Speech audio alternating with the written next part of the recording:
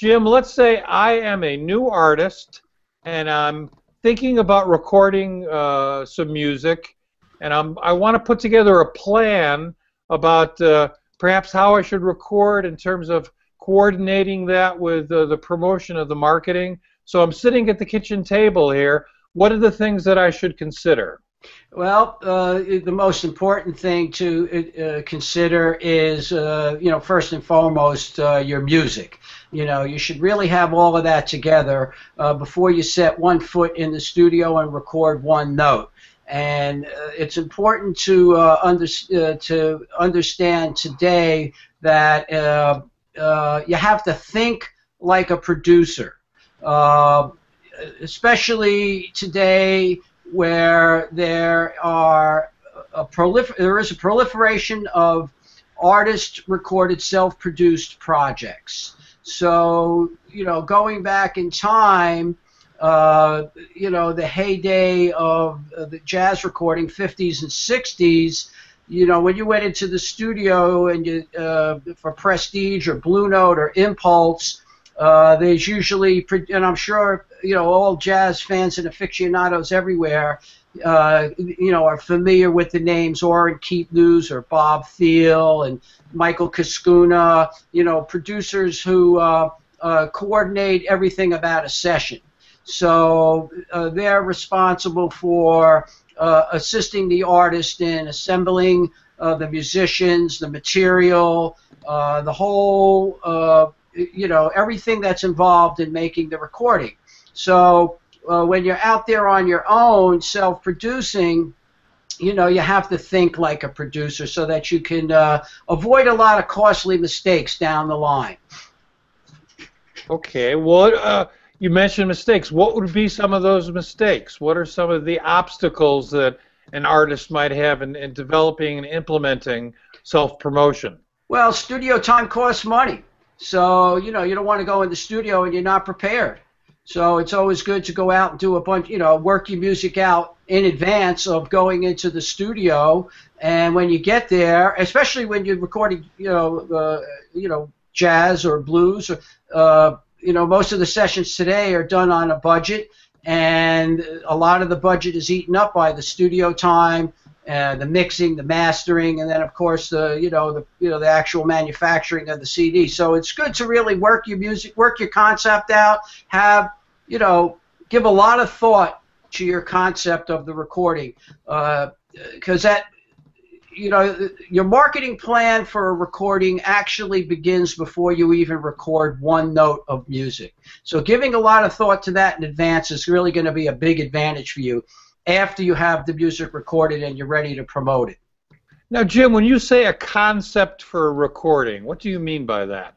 Well, uh, you know, whether you're going into the studio, and I'm sure, you know, Dave and Janice and PJ are actually three good examples uh, of uh, artists who have self produced and have given a lot of thought to the concept. And each one of these artists uh, uh, are have done that with their new recordings. And uh, uh, but I'll just say a little bit about that, and maybe you know Janice and Dave and PJ could uh, you know chime in here and say how they work their process. But uh, a concept for the recording would be well, all right, uh, you know.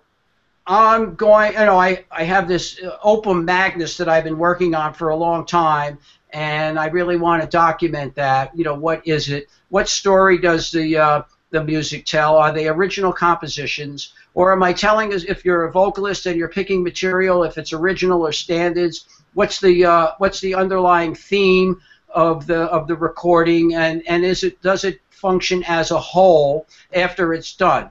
And I, you know, I won't get too far into sequencing and mastering, although that plays a really large part in the success or a failure of a recording. And we could talk about that a little bit later. But maybe uh, Janice would like to jump in here and, and talk a little bit about uh, what kind of thought went into uh, her concept for her new recording. Okay, well, we're going to go with everybody here. Janice, what uh, what do you have to say about how you put that together?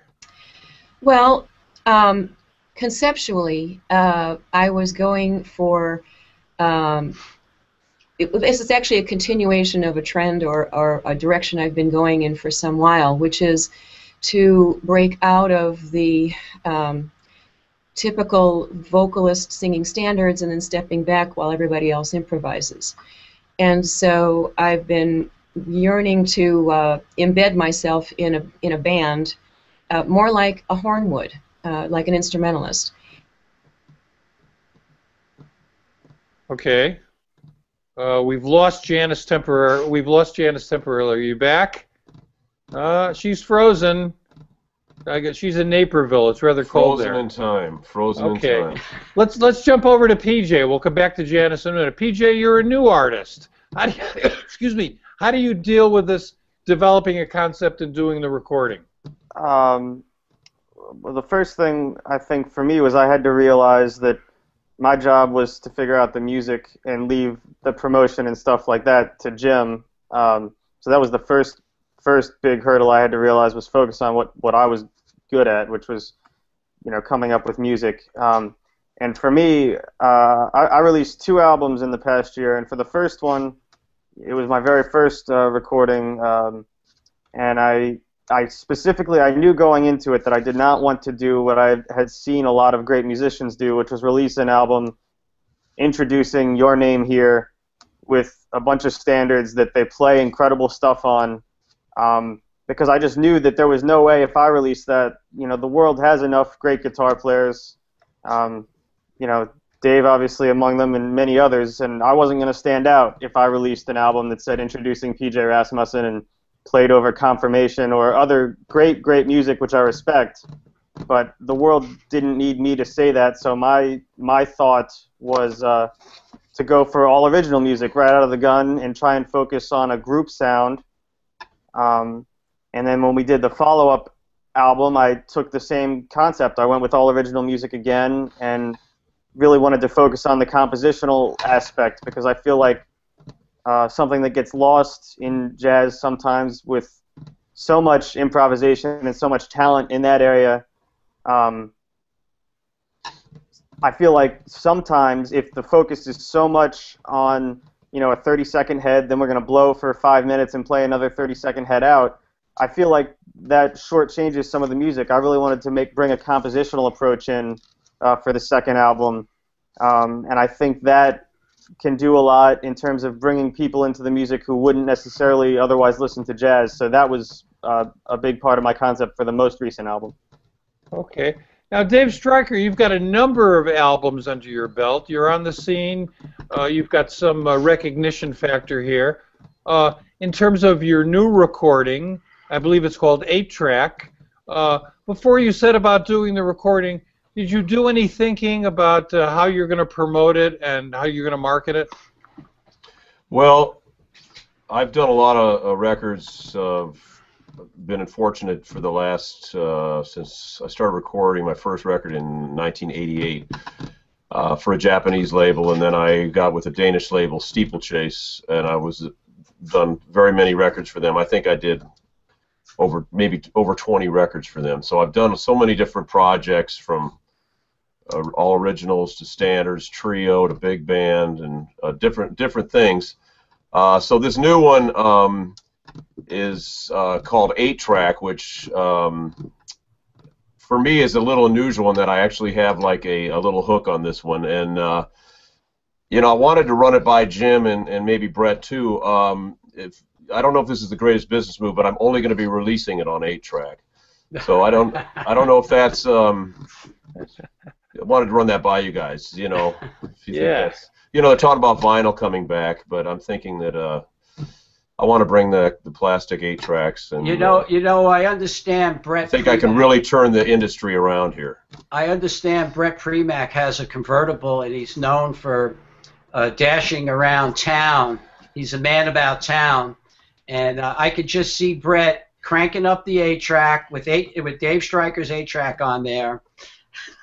A good idea. Good. It's and, a good and sticking idea. the, you have to stick the matchbook in there to get it to work. Yeah, I, I just have a question. What's an eight track? Yeah, right. Exactly. So that's a good question. Anyway, so, as I was saying, um, I, it's a project that I've been wanting to do for a while. Like when I would play gigs, I would sometimes throw in these tunes, um, which is a long tradition in in jazz. At least when I grew up, the older guys they would play like pop tunes and jazz them up. It's uh, and so uh, that's what I've kind of done here. And I would do it on gigs and say, uh, "This is going to be from my next record." Dave plays the hits of the eight track, and everybody'd laugh. And then my wife was like, "You should do that." And so I decided, what the heck, you know. Um, I, I've, I've started to do uh, my own records now, my own label, and I said, let me do this. This has got a, a, you know, for me, it's got a little angle to it, and uh, I'm pretty happy with it. And as always, uh, I take care of the music, and then I turn it over to Jim to, uh, you know, to help me get it out there in the world.